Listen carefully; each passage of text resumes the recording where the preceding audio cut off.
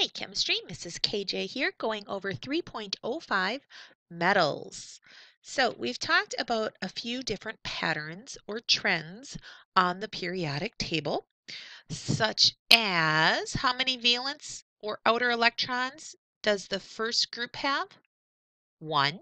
How many valence electrons or outer electrons does the second group all have? Two. And of course it keeps going. Three, four, five, six, seven, eight except for helium, which only has two because it's so tiny, but it has a what? Full outer shell and is stable. So that's why it's in this column of noble gases. So today we're going to talk about different groups, including metals versus nonmetals. So if we look at this periodic table, it shows that metals are all these colors and the nonmetals are in the green and the blue, kind of the sky blue versus the bright blue. So these are nonmetals, the noble gases, and all of these are also nonmetals. That means everything else is a metal. Now, what do you think of when I say metal? Well, you might think of certain types of metal, like what are some types of metal? Iron, copper, brass, gold, silver, platinum. Those are ones you might think of as metal. And how would you describe metals? Well, usually they're very shiny. I usually think of them as being very silvery in color, although obviously some aren't, like gold. Gold is gold colored. Um, but those are things that we think of. Copper is copper colored. And what do we use metals for? Well, what about copper in your house? That's used for wires to conduct electricity. We use them in our cars. We use metals in a lot of things. But you might not have realized that, look, all of these elements are metals. Most of the elements are metals, and really only a few are non-metals. Then, of course, when they combine, then they can make other compounds with other properties, and that, of course, we'll be talking about more and more as we get into chemistry. But first, we want to talk specifically about the properties of some of the metals. So we are going to start with talking about the first two groups on the periodic table. So the first group is your alkali metals. So you should know that group one is called the alkali metals. Except for what element? Hydrogen, because hydrogen is actually a non-metal. It's the only non-metal on this side of the periodic table. All the other non-metals are over here, but hydrogen is over here. So why is hydrogen over here if it's a non-metal? Well, because it only has one electron, so one valence electron, so it gets stuck in group number one. So all the rest of group one are called alkali metals. So make sure you write that down. Alkali metals. Here, I'll go to my note page. Alkali metals are all the elements in group one except hydrogen, which is still in group one, even though it is a non-metal.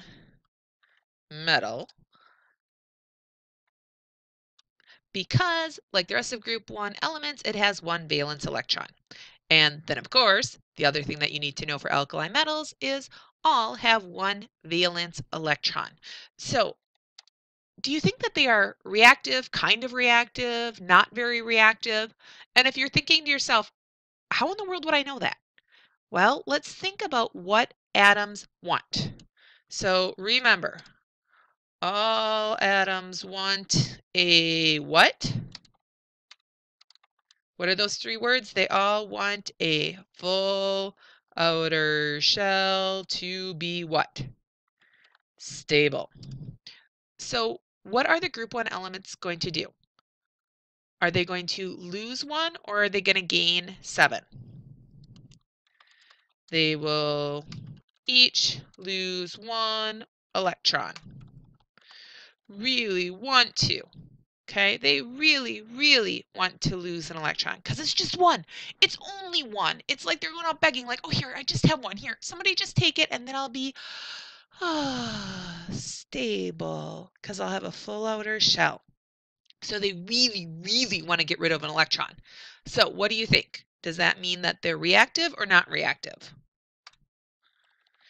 Therefore, they are really reactive. Okay, So, and I have some good little video clips of that. So let's look at this opening sentence here for this video. Reaction of alkaline metals with water. Water. Okay, these atoms are so reactive. They are going to react with plain old water. In fact, when you store them, you can't just put them in a container. You especially can't put them in a container with water, but there's water in the air. So you actually have to keep them submerged in oil. All right, so we're going to start off talking about the first few on the periodic table, lithium, sodium, and potassium. Now here you can see that they're actually stored in a liquid, obviously, but again, this liquid is oil. It has to be an oil because what do you know about oil and water? Do they mix or do they want to stay separate? You know that they want to stay separate. And if you remember from biology class last year, that has to do with hydrophobic and hydrophilic ends, like with your cell membranes. Remember how your cell membranes have the little heads and tails that go together? And so the hydrophobic, the part that hates water, hydrophilic, the part that loves water. So oil is hydrophobic. So here is a piece of lithium and it shows you here how easy it is to slice through them. That's not a sharp knife. And once you slice through it, you can see how nice and shiny it is. So why do you think the outside is not shiny? The outside's not shiny because it's reacted with the air. It has tarnished, kind of like rust. Okay, so it's already reacted with the air, but when you first cut it, um, it's actually like butter, like uh, a little cooled butter, not quite room temperature, um, but pretty darn close to butter and softer than butter that's in the fridge. This is sodium. Look at that. This isn't even a sharp edge. It just slices right through it. And again, you can see how shiny it is in the middle, a little bit tarnished on the edges. And you might even be able to see how it's tarnishing a little bit just from the air. This one is potassium. This one is so reactive, you cannot have it in a high school classroom. So, okay, my favorite day all year was playing with sodium. I'm sorry, not playing with sodium, showing experiments of sodium. I could not do potassium because even as a high school teacher, it's so dangerous you can't purchase it. All right, so this is lithium and water. And if you notice, we definitely have some reaction. What can you observe for the reactions? Well, I definitely see some bubbles. And you can see that it's moving. You can see that it's fizzing. If you were around it, it'd be like and they put a little flame in there because it's giving off hydrogen gas. And the way that we can tell it's hydrogen gas is because when you put a flame near a little bit of it, it goes boop, more of a boop, but kind of more it's kind of a combination of those two sounds. It makes a high-pitched little whistly sound. It's kind of pretty. So it gives off hydrogen gas. So bubbles giving off a gas. It's moving around like crazy. It's giving off um, a sound. All of those are indications that a reaction is happening. So now what they're doing is they are putting in, oh, it's kind of hard to see on this one. You can tell it's turning kind of a grayish blue. But what they were putting in was an indicator to show that what's left over is a base. So again, they're putting, there you go, they're putting the fire in to show that the hydrogen's released. All right, so here we have sodium. Sodium is the next one down on the periodic table in group one. And again, you see that it's a ball. It's a spherical shape. That's because it wants to be away from the water. It's like a drop of oil it beads up on itself and it basically dances. And here you can see that, ooh, we definitely have a darker blue. So we have a more basic, because remember, bases are blue, and we have sodium hydroxide combined with hydrogen gas. When they put the flame there, goes boop, and it whistles off. Now, that was a very tiny piece of sodium. We're talking smaller than your pinky fingernail, like half the size of your pinky fingernail at the biggest. Because when you get larger than that, you definitely have more reactions. So let's take a look at some bigger reactions. So again, we are reacting metals and when they react with water, they form a metal hydroxide, which means it ends in OH, and they liberate or give off hydrogen gas. Reactions get more vigorous as we move down the group on the periodic table because they more readily want to give up the electrons. Remember, we talked about this. We talked about how hydrogen has one orbital, lithium has two, sodium has three orbitals. And the farther away from the protons that the valence electrons are, the harder it is for the protons to hang on to them. So they these outer electrons really, really want to escape. They're going crazy. And this was like when I talked about the teacher, right? The kids standing next to the teacher in elementary school, they're going to be good and they're going to stay by the teacher because the teacher can reach out and grab them. But the kid who's on the other side of the room or at the end of the line when you're going on a field trip might get lost because they're farther away from the teacher. Same thing. The electrons here, one, two, three, four, five orbitals away from the positive protons are more likely to escape. All right, so again, lithium, even when you have a decent sized chunk of a lithium, you can see the hydrogen, and guess what? Yeah, it starts on fire. It is so reactive, it starts on fire. When I did sodium in the classroom, if you put a chunk into a beaker of water and that chunk is about the size of your pinky fingernail, sometimes that is enough to shatter, shatter the beaker. It sounds like a gunshot going off. It explodes the entire beaker. It's crazy. And sparks flying and obviously very dangerous. Again, definitely my favorite day.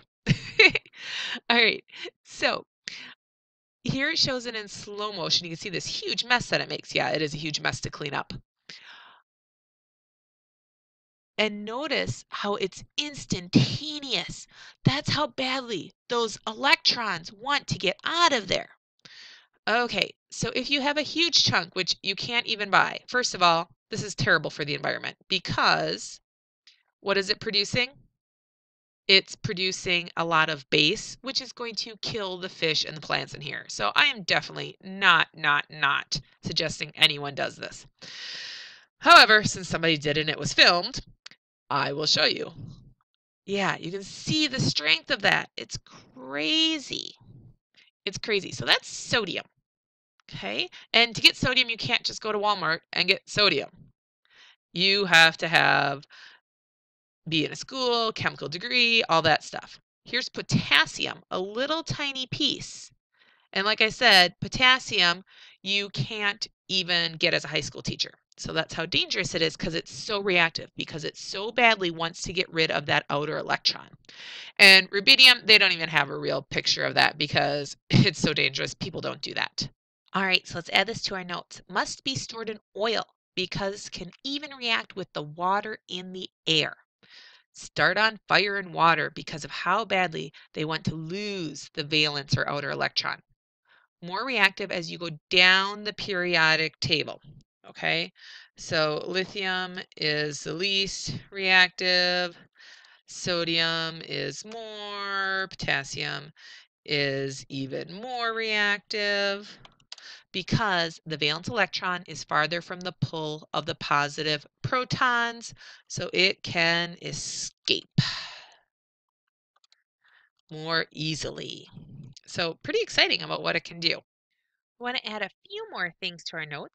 So I want to make sure that you add that it is soft, like butter. And I hate going back into your notes, but I thought maybe just make a little line and add in the valence electron because sometimes when we use it in chemistry class, I forget that it's sometimes it's hard to lose track of what the pronoun is referring to. So it, meaning the valence electron, can escape more easily. And the other thing I wanted to add when reacting with water, it gives off, do you remember what kind of gas? Hydrogen gas. And leaves what type, an acid or a base, in the rest of the water? It leaves a base, like sodium hydroxide. And we're going to talk a lot more about acids and bases later on, but I wanted to add those in. All right, next we are going to talk about alkaline earth metals. You can write this down and I will start the rest in the next video clip because we're out of time on this one.